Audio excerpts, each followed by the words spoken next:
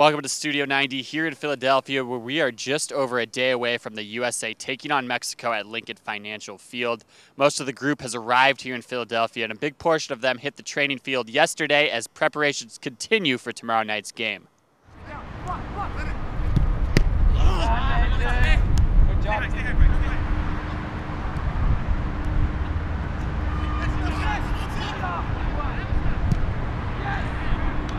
Head coach Jurgen Klinsmann spoke to media at the conclusion of the training session. He reiterated his excitement at the job ahead with the national team and looked forward to watching the team take the field on Wednesday. It's a, a wonderful start. We have a good spirit. Everybody's excited. Uh, obviously, having a big opportunity to play Mexico in, in the first game, you know, as a uh, um, as a start is something very special because it's uh, it's one of those teams that are definitely on their rise over the last couple of years with tremendous amount of good young players and and they're playing wonderful football. So really, really looking forward to it. I think we are all uh, excited about that opportunity and, and we'll give it our best. There's a typical cosmopolitan flavor for the U.S. men's national team with players coming in from nine professional leagues from eight different countries. There's also a big contingent from Germany and Mexico. So Studio 90 spoke to a few of those players to find out about those influences in the team. Yeah, I think it's always great. You know, coach called in new faces for players that play Mexican league. You know, I think that's great. You know, Bees is one of them. I think he's he's happy there. And I think it's going to help us out a lot. You know, we know most of the players on the Mexican national team, and it's going to be a great game, but it's going to be different.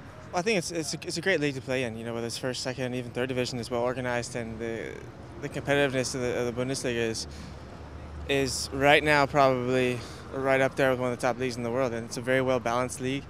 You know, teams in last place are beating teams in first place, so it's it's a difficult league to play in, but it's a league where you can you can learn an amazing amount. I think we're going to bring the same thing as the Mexican national team. You know, they like to play, keep possession, um, go at you a little bit more. You know, I think US, USA did the same thing, but now there's different players. We have more attacking players, so we're going to try to attack more and, and try to win the game. Uh, it's it's a place where American players truly get a chance to learn the game and to uh, flourish in the game. Um, and I also think that the level in the Bundesliga can help this this national team as well. So anytime a player is playing in Germany the club stage, then they can come here and uh, apply to what they've learned over there, and, and hopefully add to what uh, we've been doing over the past few years here. It's always is always something that I've had in mind. You know, I had the choice to play for Mexico or for the U.S. You know, so I choose I chose the U.S. So I'm looking for. I'm always looking forward to playing against Mexico. I've been on the bench twice, never got to play, but hopefully on Wednesday I get to start or I get to go in as a sub. You know, I'm I'm looking forward and hopefully win the game. On Tuesday, the USA will put in an hour of work on Lincoln Financial Field as they get ready to meet Mexico.